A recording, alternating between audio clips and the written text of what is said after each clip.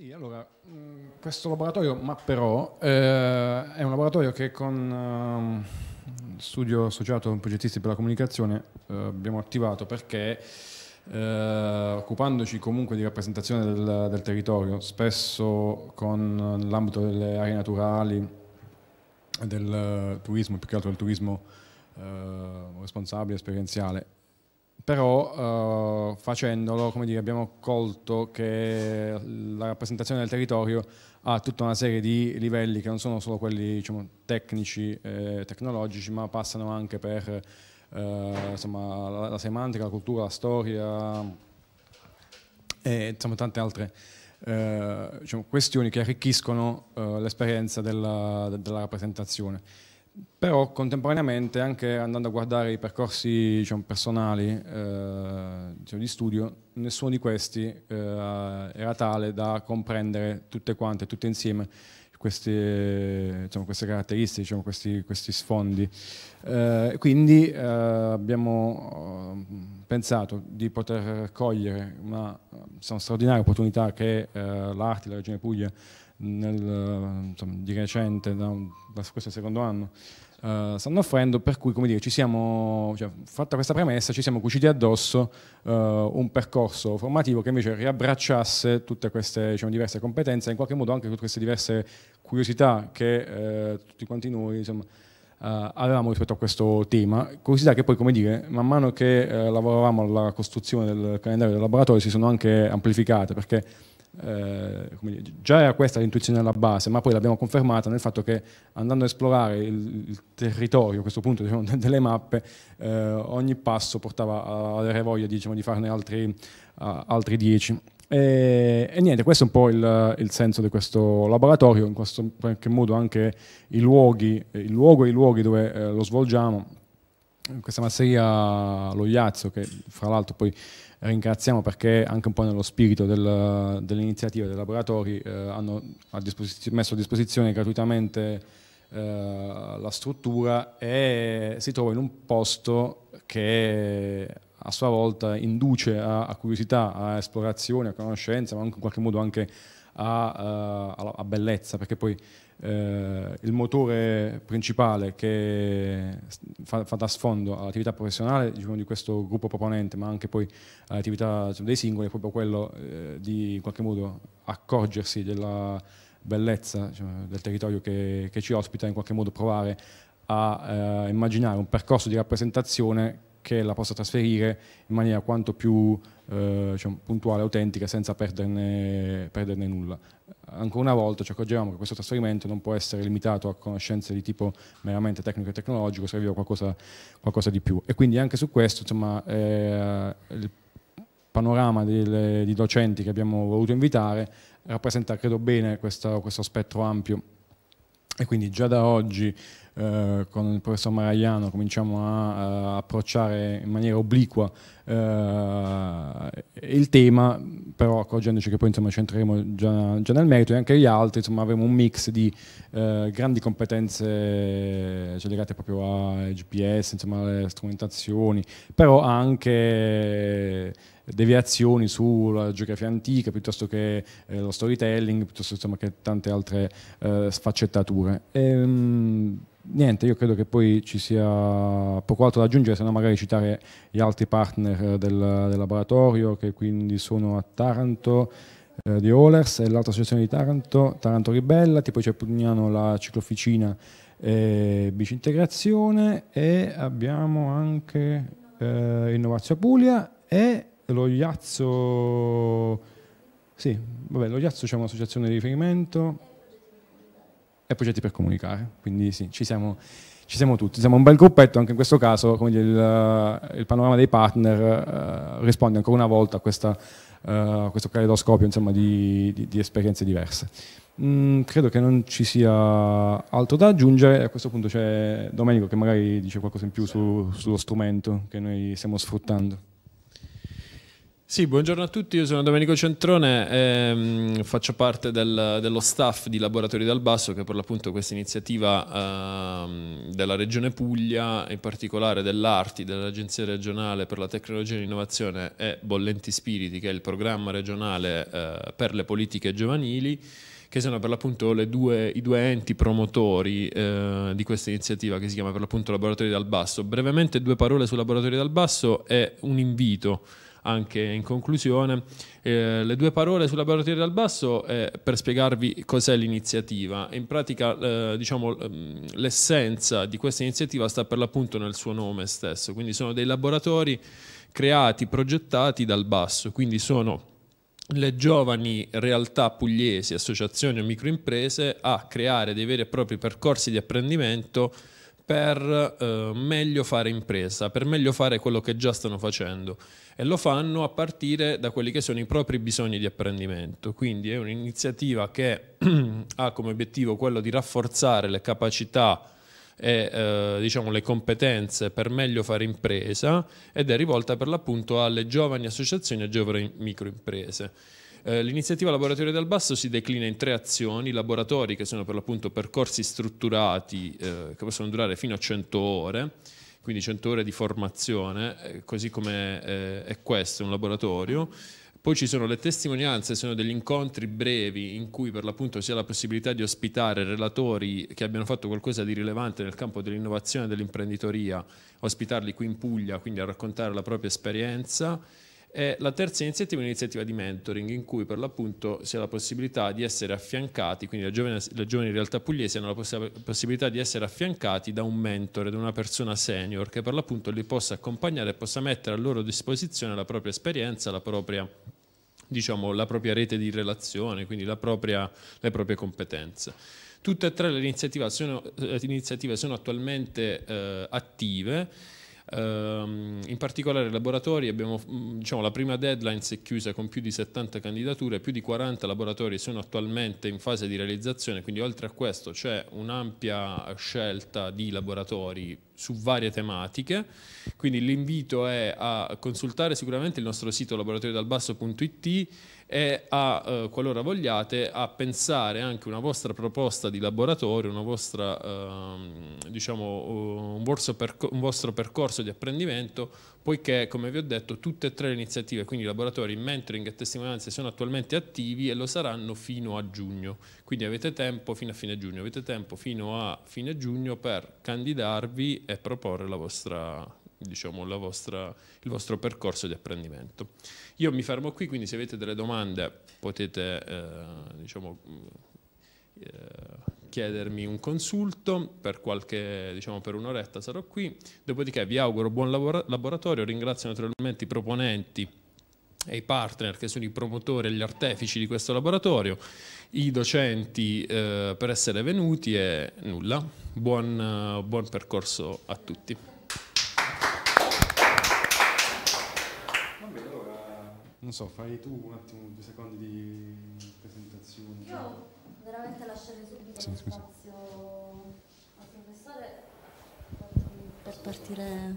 Sì, no, mh, mm, darei subito la parola al professore Maragliano perché siamo già partiti con qualche ostacolo. E...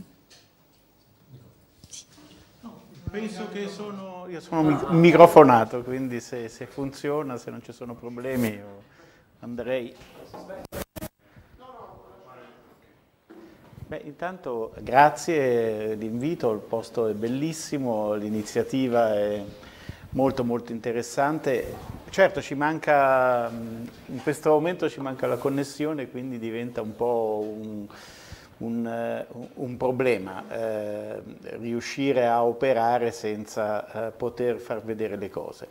Eh, però insomma confidiamo in una, in una, rapida soluzione del problema, nel, nel frattempo eh, provo a, a, presentare gli aspetti diciamo, più di principio collegati al, al, al tema che mi, stato, che mi, è stato, proposto. Intanto mi sembra estremamente interessante eh, la questione eh, che vi, vi, vi che un po' tutti stiamo cercando di, di affrontare anche con questa, con questa iniziativa.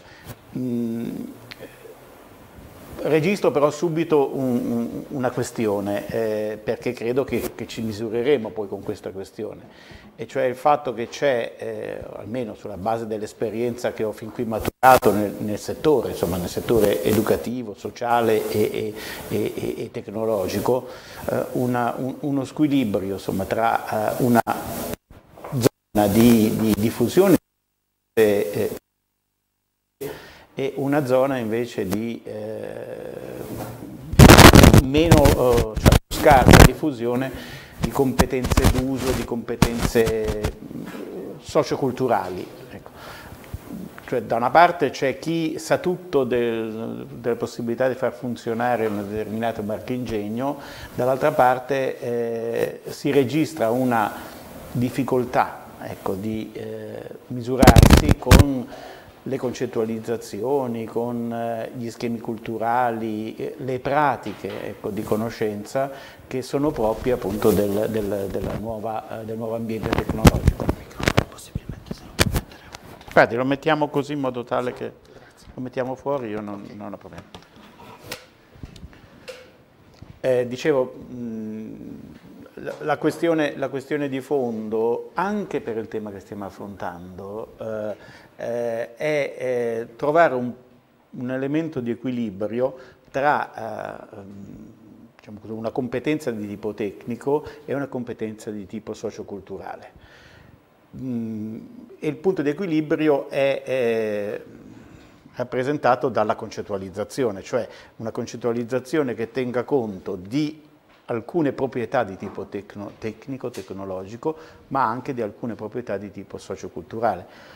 In caso contrario noi abbiamo il rischio di eh, trovarci di fronte a ehm, così, pratiche di tipo oh, corrette dal punto di vista tecnico, cioè funzionali e funzionanti, ma vuote dal punto di vista culturale, oppure pratiche che eh, pur essendo tecnologicamente avanzate, però eh, includono dei contenuti e delle modalità di contenuto dei, eh, dei, comportamenti culturali e sociali che appartengono però a, ad un altro mondo, che appartengono ad una tecnologia, ad una tecnologia precedente. Cioè, il tema delle mappe è particolarmente significativo da questo punto di vista, cioè perché eh, per molti la mappa eh, è, è, vissuta come un qualche cosa di statico, perché ovviamente eh, per, ma anche per tutti noi, insomma, anche, anche, per i più giovani. Cioè il primo incontro con le mappe eh, è, è, è, è, l'incontro con una, una dimensione di rappresentazione del mondo di tipo statico.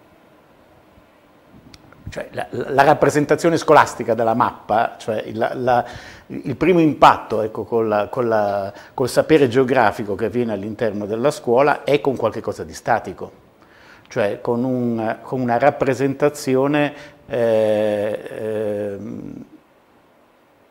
che è una sorta di normalizzazione, cioè una, una rappresentazione delle dinamiche de, statiche del potere, no? cioè fin lì arriva la regione, fin lì arriva la nazione, fin lì arriva il continente, lì inizia l'altro continente, là c'è l'altro colore, là c'è l'altra eh, là c'è l'altro spazio, cioè una, una, una, una sorta di eh, deliberazione no, dei, dei sistemi di potere e quindi il sistema di potere è vissuto come qualcosa di statico, è chiaro, poi eh, è sempre soggetto a, a, a, revisione, però di fatto nel momento stesso in cui viene certificato dalla, dalla mappa, eh, a quel punto è eh, definito che è così, no? cioè è una mappa che è più forte della realtà.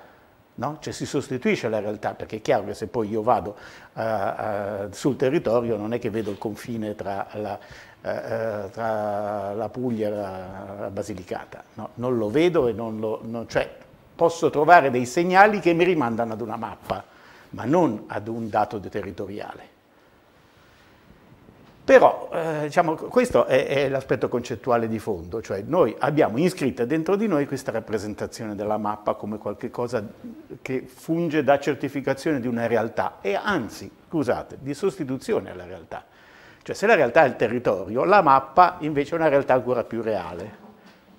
No? perché chi, chi, eh, chi, sta da una parte diciamo, della zona della mappa e chi sta da un'altra parte della zona della mappa, dal punto di vista dire, culturale e a volte anche dire, di, di, comunicazione, non sente nessuna differenza. No, però uno è certificato appartenere ad una, ad una realtà, l'altro è certificato appartenere ad un'altra realtà, ma questa realtà è soltanto della mappa e del sistema di potere che la mappa certifica. Eh, siamo d'accordo su questo? Cioè.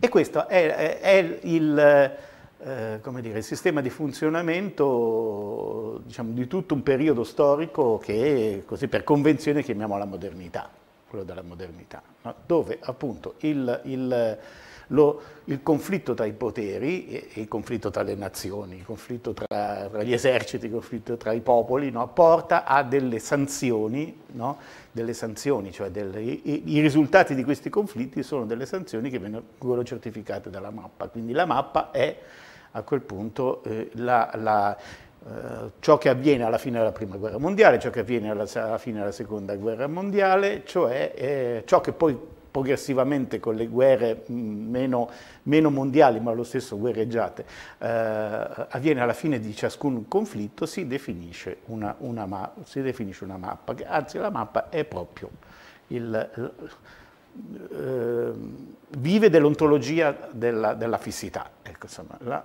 è la, la, la certificazione eh, diciamo, di ciò che è fisso. Poi sappiamo che ciò che è fisso è provvisoriamente fisso, però proprio perché viene mappato eh. anche il concetto di immigrazione, immigrazione e clandestinità. E eh certo, tutto, è, tutto, è, tutto, costruito appunto su una, su una, logica di mappa, mappa però in quel senso là, eh?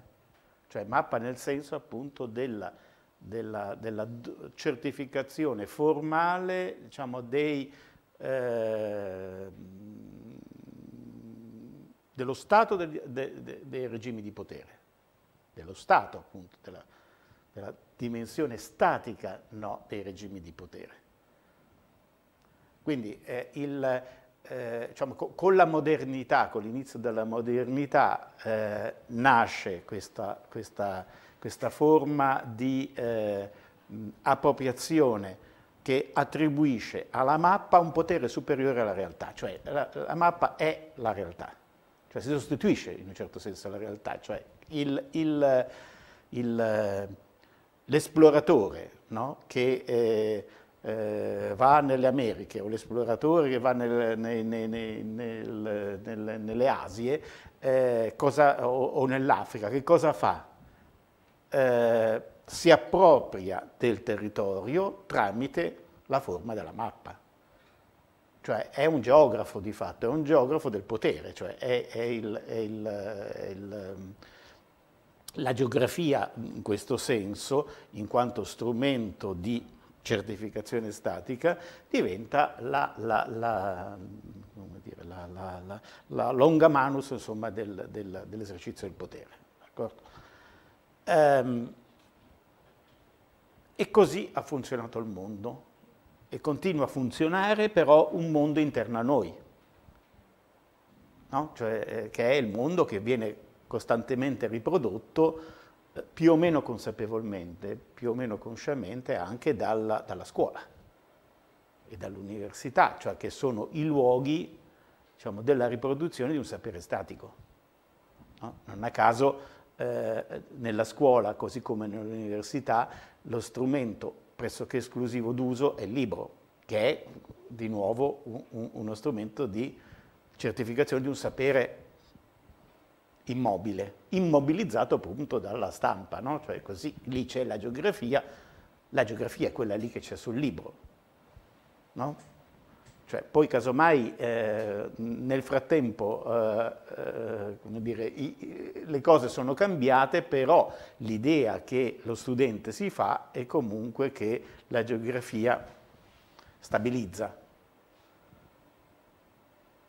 No? Cioè, è un, un, un, un, sapere la cui funzione è quella della certificazione. La certificazione, ovviamente, chi, chi è abilitato a certificare? Il potere. E così si riproduce questo, questo meccanismo. Di fatto però, eh, se siamo qui, è anche perché alcuni processi hanno messo in forte discussione questo, questo, questo, questo meccanismo, questa assunzione, questa, questa, filosofia, questa ontologia. No? Il mondo, eh, non da ieri sera, ma da una bella fetta di tempo, ha, ha iniziato a cambiare e ha iniziato a cambiare eh, proprio in eh, relazione alle dinamiche dello spostamento delle, delle, dei gruppi e delle persone che hanno provocato un ridisegno, un, come si può dire, una rimappatura, ecco, un, una continua rimappatura del, del, de, del mondo. Quindi un'altra forma di mappatura del mondo che eh, è eh, profondamente diversa da, da, da, quella precedente. Quella precedente è organizzata nella dimensione della tavola, no? cioè io vado, scopro, vedo, certifico, eh, faccio la mappa, la tavola, quella lì. Io geografo sono il geografo dell'imperatore, no? eh, e quella è la uh, certificazione del potere dell'imperatore e quindi è statica e ha un'assunzione, come dire, di immortalità. No? deve essere, poi non sarà così, ma comunque deve essere vissuta come una, una cosa assolutamente immodificabile. E infatti, in quanto stampata, o prima in quanto disegnata in quell'unica coppia, è immodificabile anche se poi nel frattempo l'imperatore è morto, eh, sono successe tantissime altre cose e quel territorio è diventato un'altra cosa, però comunque sussiste ancora quella, quella, quella mappa. E nella coscienza di, di, coloro che utilizzano quella mappa eh, sussiste ancora l'idea che, che c'è qualcosa di assoluto. Invece con, eh, le, eh, con, lo sviluppo dei trasporti, quindi eh, con l'inizio anche del trasporto delle, delle, merci, quindi con la costruzione di reti eh, di comunicazione eh, sempre più dense, eh, l'idea di poter intavolare il territorio, cioè di, tradu- di trasferire la dinamica eh, eh, eh, tridimensionale no, di un territorio che è, fatto di tanti elementi, quindi profondità, larghezza, altezza, eccetera, di poterlo trasferire in una dimensione bidimensionale salta, salta e, e comincia a saltare proprio nel settore, per effetto insomma, dello sviluppo del settore, dove poi tra l'altro il concetto di rete eh, è venuto via via fermandosi. Prima, prima, ovviamente molto prima che la rete diventasse una, una tecnologia comunicativa. Cioè, dov'è che comincia ad affermarsi eh, il concetto di rete? Nel, come, come, come, strumento, eh, come, come chiama, dimensione eh, tecnica e concettuale della, eh, dei trasporti, del sistema dei trasporti cioè i, i sistemi di trasporti, per come cominciano a svilupparsi dall'Ottocento in poi, dal fine Settecento in poi, sono un effetto, oppure sono un qualche cosa che possiamo capire meglio proprio utilizzando eh, il concetto di rete. No? Infatti anche nel, nel linguaggio corrente parliamo di rete di trasporti. Poi spesso viviamo Pratichiamo i trasporti come rete, ma li pensiamo invece in modo lineare. No? Eh, però di fatto ormai, diciamo, dopo due secoli, eh, dire, si è compiutamente, completamente affermato l'idea che il, il, il sistema dei trasporti è organizzato secondo una dimensione di rete. Eh, non siamo ancora pienamente eh, dire, eh, allineati con il nostro pensiero a, a questo dato di fatto. No? Si possono fare mille esempi, no? uh, a partire dal, da quello che sta avvenendo adesso. Pensate per esempio al, alla rete dei trasporti ferroviari o alla rete dei trasporti eh, aerei, no? eh, dove eh, per esempio il rapporto tra distanza e prezzo non è più di natura lineare. No? Facendo percorsi più lunghi paghi di meno. O, o facendo percorsi più lunghi eh, arrivi prima. È assurdo, secondo una logica lineare, secondo la logica della tavola è assurdo, secondo la logica di rete no. Secondo la logica di rete eh, non c'è un rapporto tra distanza e prezzo, non c'è un discorso, tra, non c'è un rapporto lineare tra, eh, eh, tra distanza e tempo. Potrebbe essere che con, con più scali no, eh, eh, io eh, mh, mm, spenda molto di meno per andare da A a, a B, passo da Z. No, e spendo molto di meno, quindi faccio molti, molti, molti chilometri in più e spendo molto, molto, molto di meno, perché è organizzato in rete. E infatti, e infatti se uno è propenso o costretto a, a misurarsi con questo problema, dice ho pochi soldi e devo andare a, a New York, eh, difficilmente poi trova un aiuto nell'agenzia No, la soluzione migliore è che si rivolga alla, alla rete. D'altronde poi l'agenzia, se è onesta, che cosa fa? Si serve, eh, si serve allo stesso modo della rete. Però è molto meglio che te lo gestisci tu direttamente, no? perché dire, se do, domini tutte le variabili, no? quindi sei in grado ogni volta di dire no, questa soluzione la trovo eh, no, non adeguata perché non voglio fermarmi troppe ore lì o cose di questo genere. No? Ecco. Eh, e la rete che funziona appunto secondo logica di rete eh, è in perfettamente in sintonia col mio bisogno di trovare una, bisogno di trovare una soluzione ai miei problemi. Eh. Ehm, il, il, tra l'altro questo tipo di logica di rete si è affermata, ha avuto, ha avuto la sua fondamentale certificazione con, con, con lo sviluppo della, della ferrovia nell'Ottocento. No, sia in Europa, negli Stati Uniti, beh, il mito, non lo sappiamo, de, de, de, del Far West, insomma, il, quello è stato il momento di legittimazione, no? però molto prima ha, ha iniziato a svilupparsi con, con, molto, insomma relativamente prima ha iniziato a, a svilupparsi con la logica dei containers, cioè col, col, col, le, col trasferimento delle merci tramite, tramite acqua, no? dove eh, si è eh, andato via via sviluppando l'idea che facendo percorsi più lunghi, però toccando determinati porti dove il lavoro costava di meno, era possibile risparmiare. Quindi costava molto di meno eh, fare viaggi lunghi che non fare viaggi, viaggi, brevi. Cioè, quindi si metteva in crisi l'idea del rapporto tra costo e, e, e lunghezza del tragitto. No? Ed è questo sistema che poi oggi governa eh, il fenomeno più complessivo della globalizzazione, per cui ti viene a costare di meno eh, delegare la, la, la, la, pittura di questa cosa qua a, alla Cina, poi eh, in, in, eh, qui, eh, che ne so, provvedere alla, alla fissaggio e in un altro paese intervenire su un'altra, su un'altra dimensione, comporre questi elementi ti viene a costare di meno no? che invece provvedere uh, a, a, alla realizzazione in toto del prodotto qui, soltanto in, in, un, solo, in un, solo, luogo. No?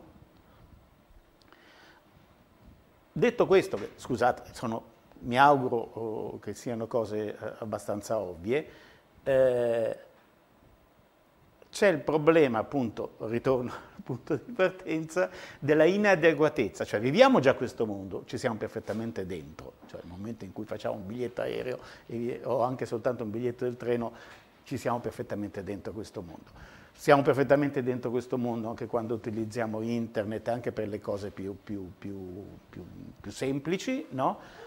il nostro modo di pensare non è ancora adeguato a, a, questo, a questo, mondo, eh, o almeno non è sufficientemente integrato no, con, questo, con, questo, mondo, per cui abbiamo una sorta di scissione. No? Dentro, dentro, molti di noi c'è questa scissione tra un pensiero che è ancora moderno e una pratica che è invece oltre questa uh, dimensione della, della, della modernità. No?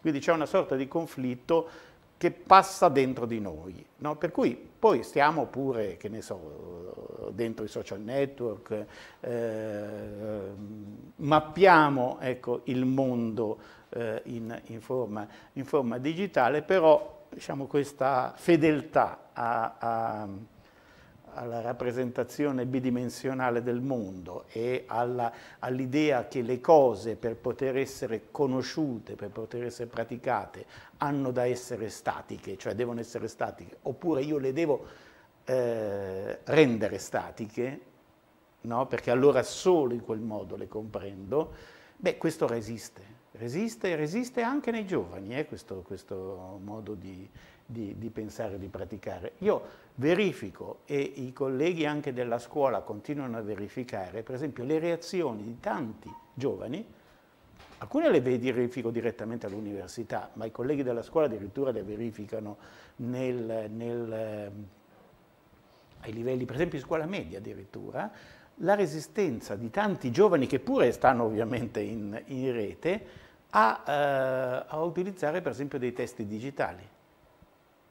Cioè, ti dicono no, no, io voglio la carta. Cioè, non sono i vecchi bacucchi che sostengono questo, sono ragazzi a volte anche di 12 anni, 13 anni, dicono no, no, no, no, eh, professore, non voglio il libro digitale, voglio la carta. E perché vuoi la carta? Perché ho bisogno della carta cioè, per essere sicuro, perché devo sottolineare. Allora gli dici, ma guarda che si può benissimo sottolineare anche sul digitale, anzi,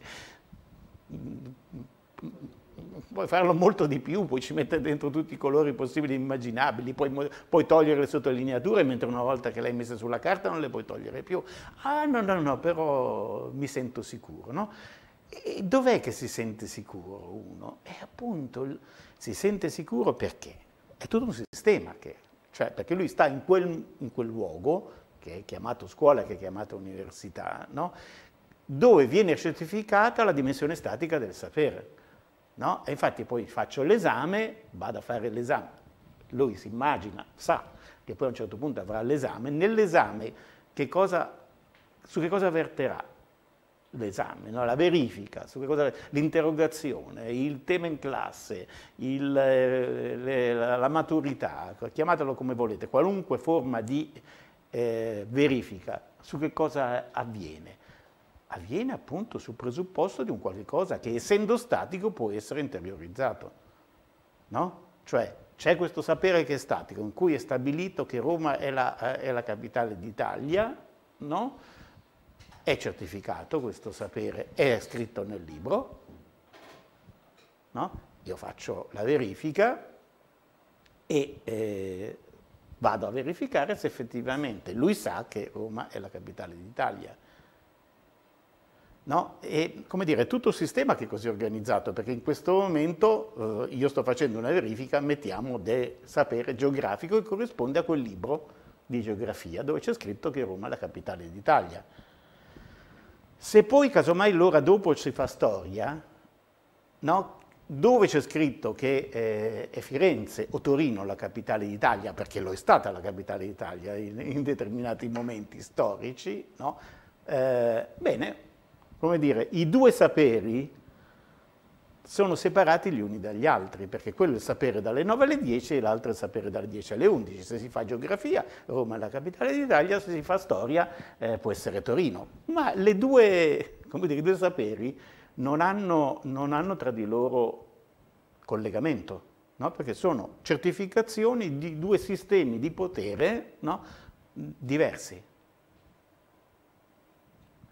Eh, naturalmente allora che cosa capita? Capita che viene interiorizzato tramite questo sistema, viene interiorizzata l'idea che mm, il sapere sia costruito a fette. No? Per cui se uno mi dice è Torino la capitale d'Italia, oppure è Milano non la capitale d'Italia, posso dire no, è sbagliato. Quindi il sapere in questo modo viene decontestualizzato. L'unica contestualizzazione che è consentito uh, che il sapere abbia è quella relativa all'ordine di tipo disciplinare, no? cioè un bel sapere disciplinato come l'esercito, no? cioè tutto ben ordinato. No? Per cui se lui mi dice Milano è la capitale d'Italia, io posso dire no, è sbagliato. Ma lui potrebbe obiettare, ma guarda no, è giusto perché in un determinato contesto, per esempio eh, eh, no, in, negli anni Ottanta, quando si parlava di Milano da bere, era, da tutte le parti era scritto che era Milano la capitale d'Italia. In quel contesto tu, tu potresti dire è giusto, cioè Milano è la capitale d'Italia. Ma se uno comincia a ragionare in questo modo, perde il controllo di quel sistema cioè nel senso che mette in crisi quel sistema, che invece certifica le divisioni di potere del sapere. Mm, non so se è chiaro. Per cui il ragazzo nel momento seguito dice no, io voglio la carta, praticamente eh, eh, come dire, certifica l'adesione a quel sistema. Dal suo punto di vista c'ha pure ragione. Dice scusa, dice, mi, è un sistema che mi costringe a determinate cose, no? perché insomma non è naturale alzarsi la mattina alle 7 per andare in quel luogo lì, stare fissi per delle ore a, a, a fare delle, delle, delle, pratiche che eh, diciamo, sono certamente molto meno oh, gratificanti di quelle che uno può fare in rete al pomeriggio o, o, o in tutte le altre occasioni. No? Eh, diciamo, dato lo sforzo, uno che cosa fa? Eh, cioè, si, si, adatta no, a, quel, a quel sistema e quindi diventa il primo dire, certificatore ecco, del funzionamento di quel, di quel, sistema. E quindi è il primo che ti dirà no, no, no, no non, mi, non mi mettere di fronte ad una rappresentazione mobile del sapere, come quella che ti viene dal digitale, no? perché questo mi, farebbe, mi metterebbe in difficoltà. Cioè il primo che ti dice voglio la carta, anche se poi utilizza lo schermo per tutte le sue attività. No? Quindi nel, nel, ragazzino di oggi, nel, nel, giovane di oggi, io vedo proprio la, la, la, dire, la, personificazione di questa forte contraddizione, no? dell'essere in mezzo a due, a, due, a due, situazioni, di un pensiero che è di tipo istituzionale, che va in una determinata direzione, e un mondo di, di, di vita no? che va in, in altra eh, direzione. Da una parte la testualità, dall'altra parte l'ipertestualità, da una parte la linearità bidimensionale, dall'altra la rete tridimensionale. Eh, lì si pone il problema allora della mappa, cioè come eh, pensare, praticare, sviluppare, eh, costruire eh, una, una, una pratica di mappatura che sia coerente con la dimensione tridimensionale del mondo, con questa altra eh, eh, modalità di iscrizione e, e, e, e certificazione del mondo, eh, meno legata alla centralizzazione dei, dei, processi di centralizzazione del potere e più legata invece a un potere diffuso che è quello del, del gruppo, del, del, un potere dal basso, ecco, per usare l'espressione a voi cara. Eh, quindi un potere più socializzante o più socializzato, sempre relativamente, sempre relativamente. E lì nasce un problema di conflitto. Ecco, io credo che qui uno si ritrova a misurarsi con questo conflitto, in quanto voi eh, eh, dire, avete scelto di operare diciamo, in questa in quest'altra dimensione. No? Ehm, quindi eh, misurarvi col tema tridimensionale della mappa come strumento di socializzazione, come strumento di, di certificazione sociale insomma, del, del, delle pratiche territoriali, delle pratiche d'uso del territorio, di tutte le forme d'uso del, del, territorio della vita e della vita vissuta. Però eh, eh, c'è ancora tanta, tanta, tanta, tanto spazio ecco, da, da, da occupare, tanto spazio da occupare proprio dal punto di vista culturale, io credo. Eh, e ci sono anche tanti, tanti, tanti pregiudizi da superare. Ehm, Il primo pregiudizio eh, io credo che eh, sia di natura politica e ideologica, cioè il fatto che, se poi andiamo a vedere che cos'è la rete oggi, la rete intesa internet, quando ci sarà, eh, verifichiamo che ehm, ehm, sua, il suo uso più massiccio, il suo uso eh, più, più, più, diffuso è quello legato a, a comportamenti, eh, a, a pratiche che molti interpretano come consumo, no? Come eh, legata a dimensioni di svago, eh, dimensioni che vengono intese come di superficie, no?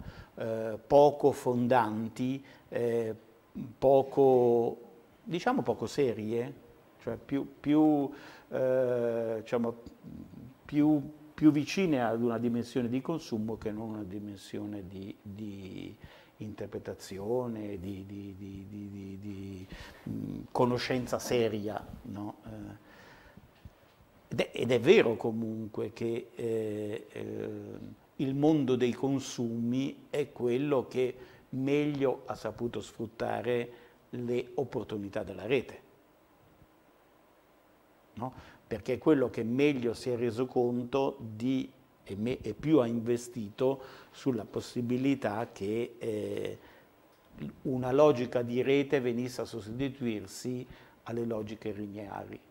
No? Per cui eh, basta vedere eh, che cosa questo ha provocato anche eh, in un settore in cui sembrava che le cose potessero eh, non cambiare mai pensate al settore editoriale, ecco, anche alla distribuzione del libro, non sto neanche dicendo il libro digitale, sto dicendo proprio il libro fisico.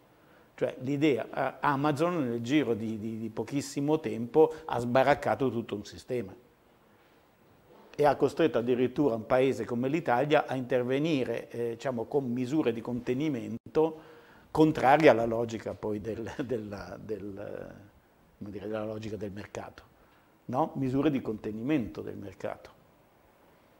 Per cui Amazon eh, gli è stato, eh, gli è stato imposto eh, l'impossibilità di fare determinati sconti perché, eh, perché, le librerie a quel punto non, non riuscivano più a sopravvivere. Quindi introducendo un elemento di conflitto nel sistema. No? Perché l'editore avrebbe venduto di più, però dato che l'editore è strettamente collegato, l'editore è strettamente collegato al sistema della distribuzione e il sistema della distribuzione vuol dire il sistema della distribuzione nel, nella, rete delle, delle librerie, nella rete capillare delle librerie, allora l'editore ha dovuto dire, farsi, fare un'azione contraria ai suoi interessi, o meglio che gli ha creato un conflitto, perché da un lato ha dovuto rinunciare ad un superiore guadagno per mantenere in piedi un sistema che però è destinato a, a, rapidamente a, a saltare. No? Perché poi di fatto cosa, cosa, cosa, capita? Capita che soprattutto in provincia cosa fa uno? Ma, ma è chiaro, si compra tramite Amazon perché l'unica garanzia è di trovare il libro, di trovarlo subito e di riceverlo nel giro di, di un giorno, quando invece andando in libreria dice adesso lo ordino, poi eh, ripassi fra una settimana, mi telefoni, eh, cioè, a quel punto direttamente, eh, ti rivolgi direttamente a Amazon.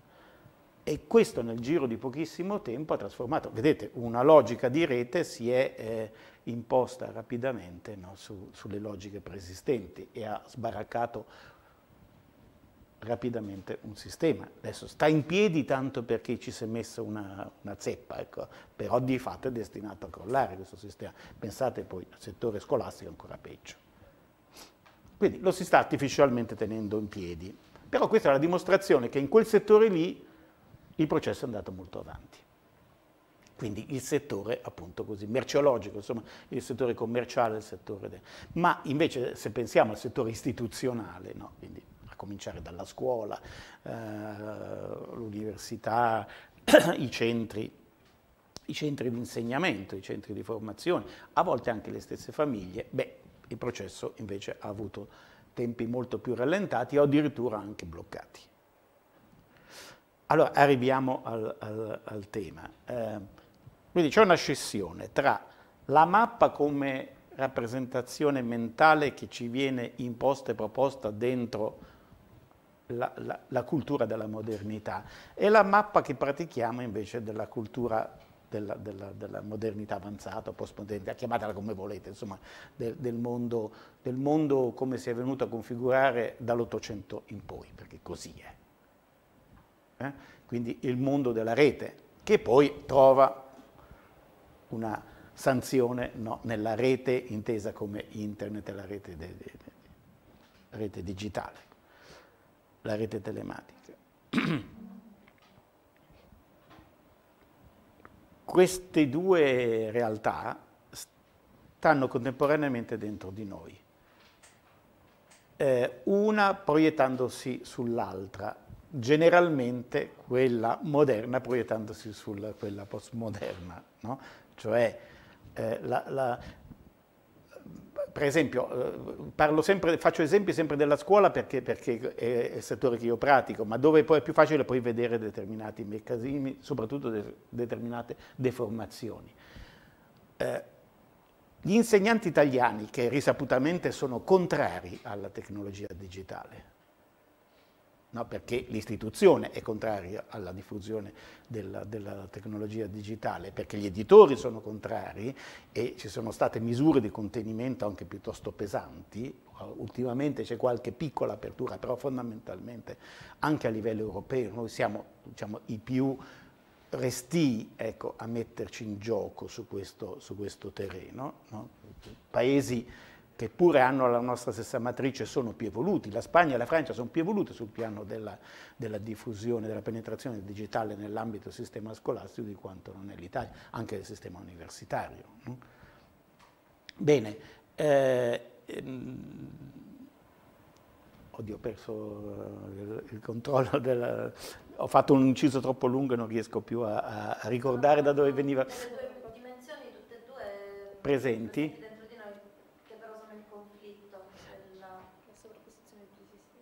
Ecco, questa, uh, questo, uh,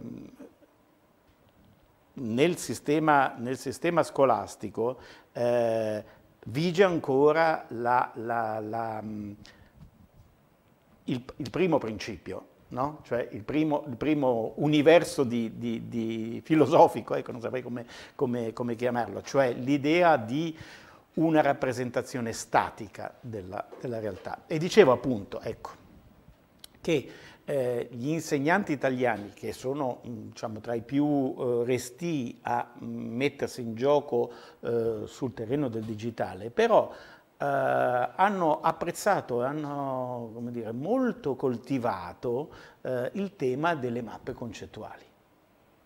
Cioè in Italia, diversamente da altri paesi, eh, tra gli, i temi che sono piaciuti agli insegnanti e su cui si sono fatte tante iniziative, su cui sono proprio più attivi, no? è, è, proprio quello delle mappe concettuali. Eh, le mappe concettuali però sono la, eh, dire, la, la, la più assoluta eh, certificazione dell'idea statica della rappresentazione del sapere no? Perché proprio nel momento stesso in cui mi faccio un bel grafo così, me lo rappresento in quel modo lì, vuol dire che le cose sono così. No?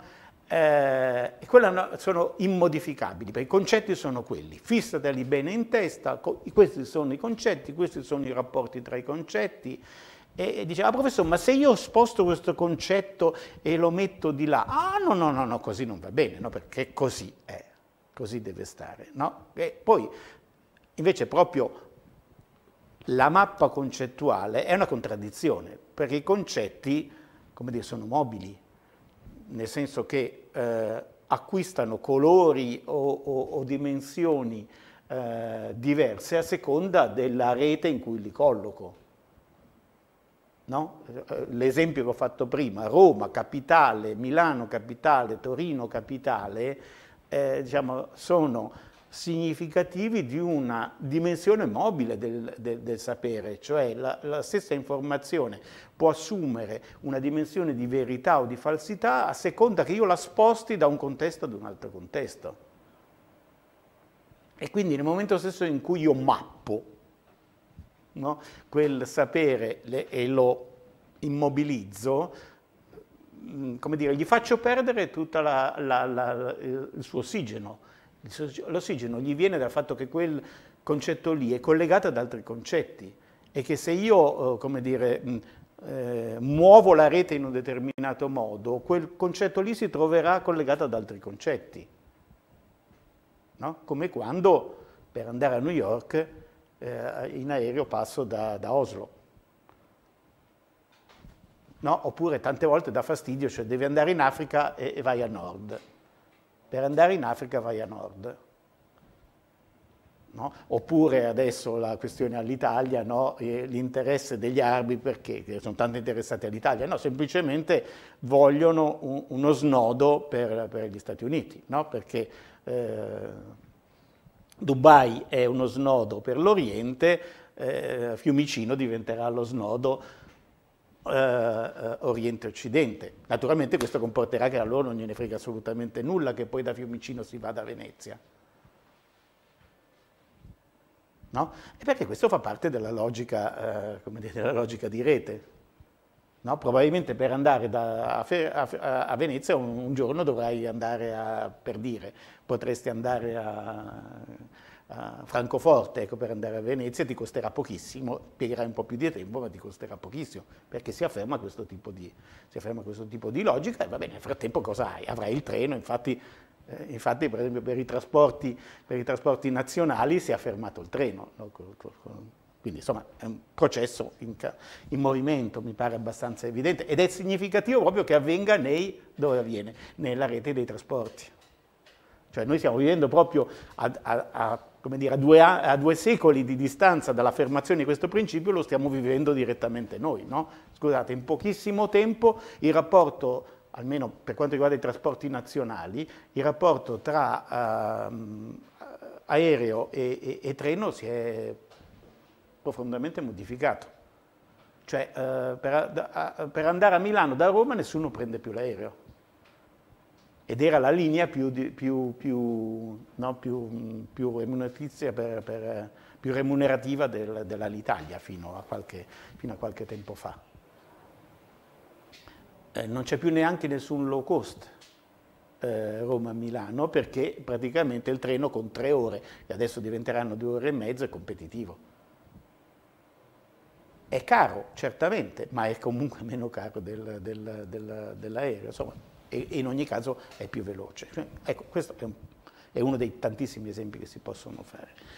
Allora, dicevo, nel, nel, e arriviamo finalmente, ne, ne, in questo spazio uh, diciamo del, del, del, della rete, la mappa assume eh, un'altra dimensione, ed è la dimensione social, ed è la dimensione della mobilità, ed è la dimensione della dinamica, cioè si passa dalla mappa come certificazione statica e staticizzazione, eh, eh, pattuizione, statuizione, come si può dire, di un, di un, di un, di un dato di conoscenza, alla mappa invece come eh, misura provvisoria di un processo, come, come ehm, eh,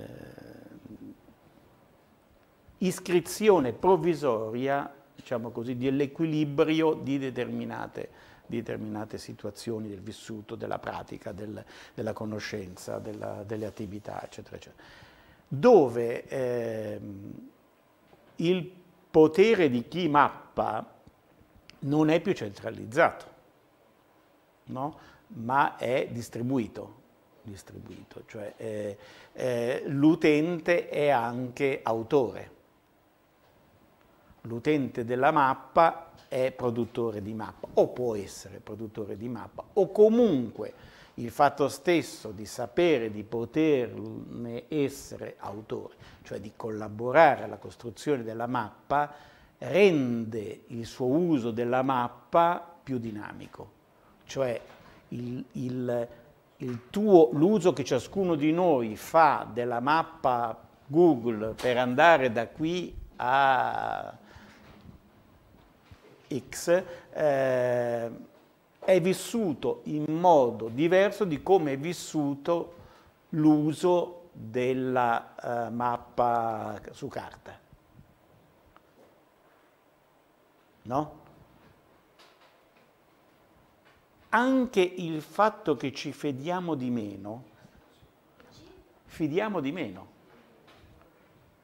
no? Eh, che è diffusa l'idea che dei navigatori non ti devi, eh, eh, non ti devi fidare fino in fondo eh, perché continuamente leggiamo di quello che è andato giù nel dirupo, no? perché seguiva il navigatore e non guardava più la, eh, il territorio, perché nel frattempo il navigatore non era, il sistema non era stato aggiornato e, e, non era stato detto che quella strada era senza, anzi con lo sbocco direttamente del dirupo.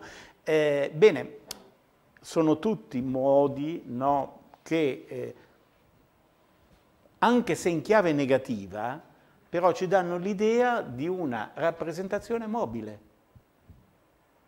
No? Eh, non ci chiediamo mai se, eh, o ci chiediamo molto di meno se la mappa che utilizziamo, eh, quella su carta, è aggiornata. No? Mentre invece siamo abituati a, a pretendere no, che quella digitale sia aggiornata perché nell'uso della mappa cartacea c'è una forte presenza interpretativa dell'utente. No? Mentre in questa fase almeno molti utenti che utilizzano il navigatore si affidano totalmente al navigatore, no? che è la dimostrazione del conflitto che stiamo vivendo tutti noi. No? Dice, ma se non ti fidi di fatto, perché poi chiedi no? uh, della mappa su carta, eh, perché poi ti devi fidare della mappa, della mappa eh, digitale? Tanto più che nella mappa digitale tu c'hai un ruolo, perché nel momento stesso in cui tu vai a finire sul dirupo stai dando un'informazione stai contribuendo alla costruzione della, dell'aggiornamento della mappa. No? Mentre la tua interpretazione della mappa statica, quella su carta, quando chiedi ma dove devo andare effettivamente perché la mappa mi dice così ma io non riesco a capire come fare per arrivare là, poi soprattutto nell'area vostra dove quando uno entra dentro un paese non ne riesce più a uscirne. No? Eh, quindi ognuno di noi ha esperienze lunghissime sul fatto che non, eh, che nel Salento è pressoché impossibile no? eh, muoversi eh, se uno non conosce perfettamente il territorio. Ma poi credo che anche capita continuamente no? quando entra in un paese che trova uh, nu nuovi, nuovi, sensi unici. Quindi, si, si Come? È. È nel Salento. Sì, sì, certo, certo. È proprio restio qualunque soluzione digitale. Vabbè. Ci vorrebbero mappe aggiornate minuto per minuto. Ecco. Eh, bene, eh, questo, questo, questi esempi so, dimostrano insomma, che dentro di noi c'è questo, cioè, questo, conflitto. Però ecco, uno dovrebbe allora, ricordate all'inizio parlavo di carenza di tipo concettuale, ecco, allora riuscire a capire come colmare anche questa carenza di tipo concettuale, cioè eh, vedere che in una dimensione social, quindi in una dimensione dove la, la, la mappa è una costruzione collettiva, cioè il, il, mio dubbio e i miei errori sono comunque dentro il sistema, sono comunque delle informazioni che il sistema acquisisce. Cioè il mio modo di essere attivo dentro la mappa è anche involontario. Per cui sarebbe giusto che il mio modo di concettualizzare questo tenesse conto del fatto comunque che io do un'informazione.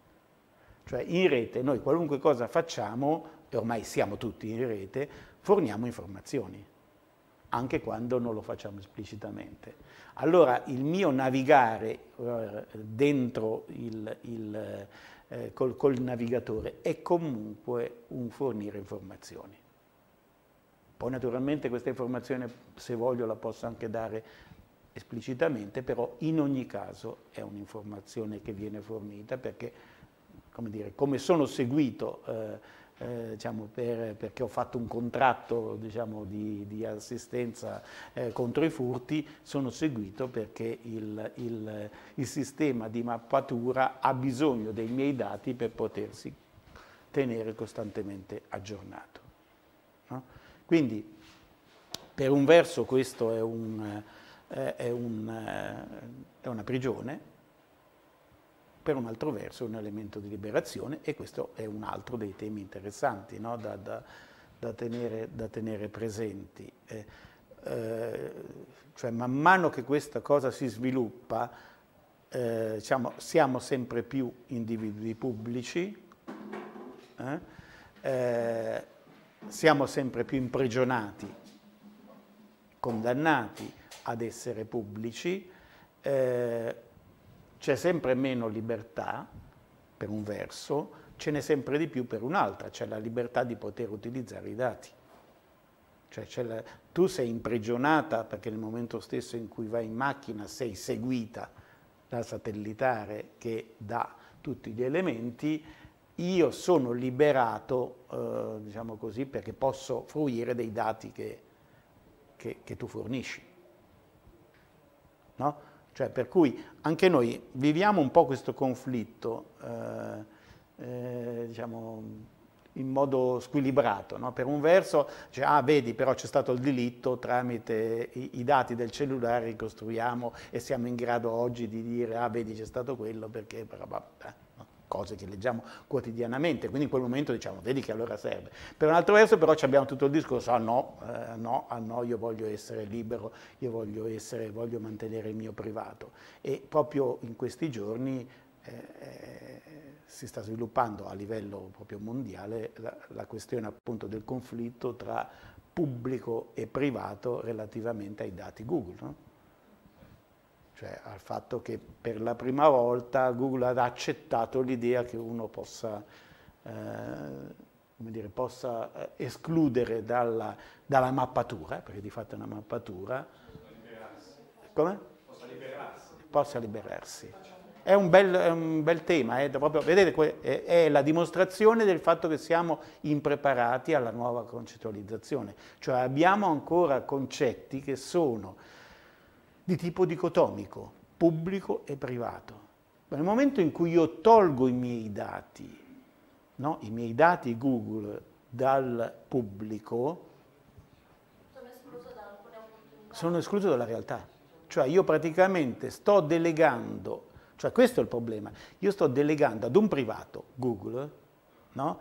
la scelta di eh, togliermi dalla realtà dato che quella è la realtà, è, è la realtà, cioè nel senso che è una mappatura della realtà che si sostituisce alla realtà.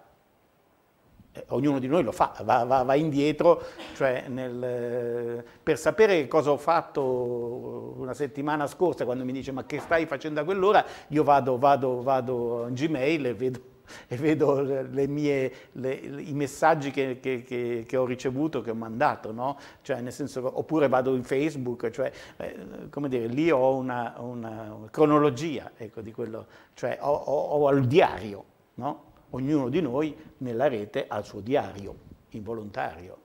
No? Nel momento in cui dice no, io lo voglio togliere, quel, eh, è come se tu chiedessi, riconoscessi che Google in quanto eh, sistema di mappatura del, del reale,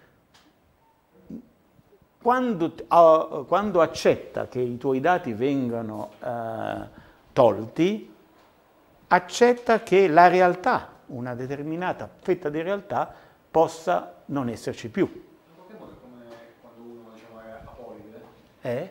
che in qualche modo è una libertà civile, per sì? diversi, sì fatto è anche una perdita di diritti, cioè io uh, accetto di, dire, di non essere cittadino di nessuno Stato, ma. Sì, così quando ci sono interventi è meglio perché altrimenti non si capisce.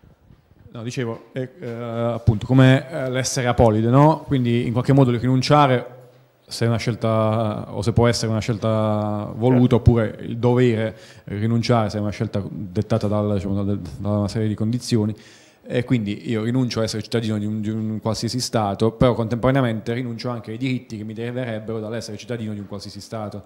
quindi come dire, è un, una lama, cioè un filo sottile no? eh, di eh, acquisizione di libertà in cambio di cessione di, di diritti e probabilmente la stessa, cioè, gli stessi rapporti, eh, gli, stessi, gli, stessi, schemi esistono anche in questa faccenda recente cioè, di Google. Io in qualche modo acquisisco esatto, una esatto.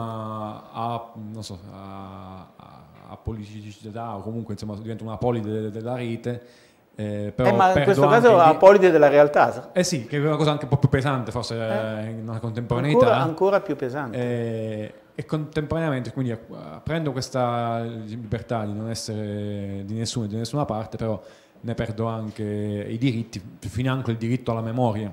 Esatto. In termini del, cioè, rispetto al diario di cui... Cioè è come se io dicessi voglio togliermi fuori dalla, dalla storia. Eh sì. no, ma ancora più grave è che sei venuto a creare un sistema tale per cui deleghi a Google decidere che cosa è storia e cosa è no. Cioè, per cui viene presentato come una grande, eh, una grande conquista il fatto che tu puoi chiedere a Google eh, eh, di toglierti, perché dici, guarda, io non voglio che si sappiano determinate cose, ho ammazzato mia zia, insomma, ho pagato, no, ho pagato, no, ho pagato, ho, ho pagato quello che dovevo pagare, no, ma eh, ah, cioè, la logica è quella, no, ho ammazzato mia zia o mia moglie, quello che è, insomma, ho pagato quello che dovevo pagare, ma perché mi devo portare dietro questa cosa? No? Quindi chiedo che questi, i dati relativi al mio pregresso eh, non, siano, non siano pubblici. Google cosa ha risposto? Dico sì, Dice, se noi eh, riconosciamo che questi dati, la sottrazione di questi dati, non comporta degli squilibri dal punto di vista dei diritti collettivi di sapere le cose, no, io lo tolgo. Allora, è chiaro che questo allora vuol dire che deleghiamo a Google stabilire eh, che cosa è pubblico e cosa non è pubblico. Poi lo potrà fare pure bene, perché certamente non potrà togliere i dati relativi al fatto che io sono stato condannato quello non lo può togliere, no? ma dirà, guarda, se poi c'hai avuto una relazione co, co, co, con la sorella di tua moglie dopo che... vabbè, questo lo possiamo togliere. No, perché quello non, è, non, non implica un, un, un problema traccia istituzionale, diciamo. Eh sì, ma però che ne so che poi casomai un domani eh, sia necessario poi a ricostruire anche ah, se io okay. non sono un serial killer, prima la moglie, eh, poi la sorella. Magari... Cioè, voglio dire, eh, eh, anche, anche Guru si mette in un ginepraio, è così. Intanto si sostituisce a un ente pubblico. Quindi eh, proprio ieri c'è stato un intervento, mh, mm, Adesso poi vi dirò casomai i riferimenti. Sì, in realtà, uh, tra parentesi, abbiamo, dobbiamo aver risolto tutto quanto, ah, quindi bene. abbiamo connessione. Quindi se vogliamo possiamo anche dire, chiudere un attimo questa, va bene, va bene. Okay. Uh, questo ragionamento e poi prenderci qualche va. minuto in modo che noi bene, attiviamo tutto quanto. D'accordissimo, così vedo. Se voi siete d'accordo, naturalmente. Sì, no, No, no, lo, lo, posso concludere facendovelo vedere, perché proprio ieri c'è stato un intervento pubblico, abbiamo, un post... Perfetto, benissimo, benissimo.